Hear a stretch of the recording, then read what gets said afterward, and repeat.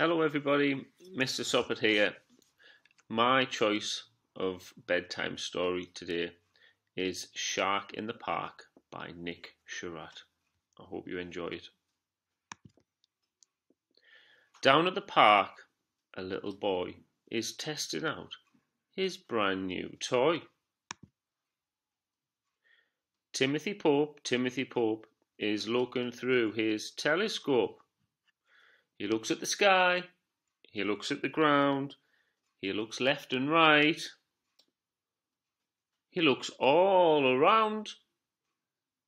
And this is what he sees. What a nasty surprise!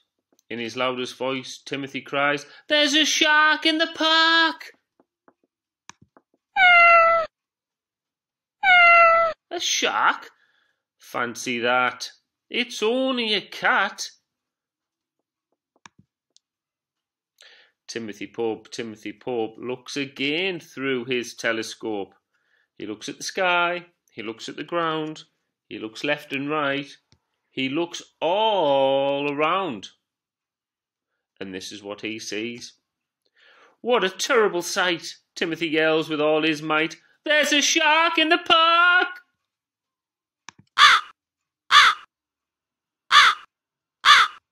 A shark? Oh no, it's just a crow.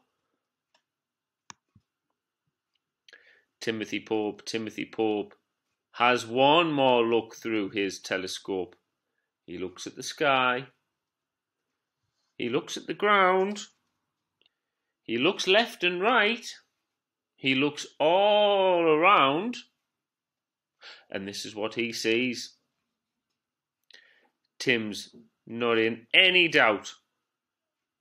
What do you think he's about to shout? There's a shark in the park! A shark? No, it's not. And aren't you glad? As a matter of fact, it's Timothy's dad. It's time to go home, Timothy.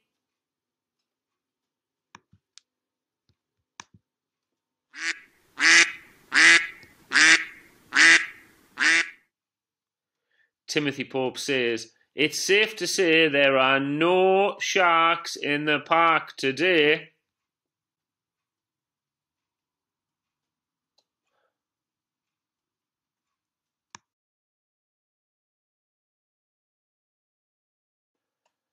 And that was the story of The Shark in the Park by Nick Sharratt.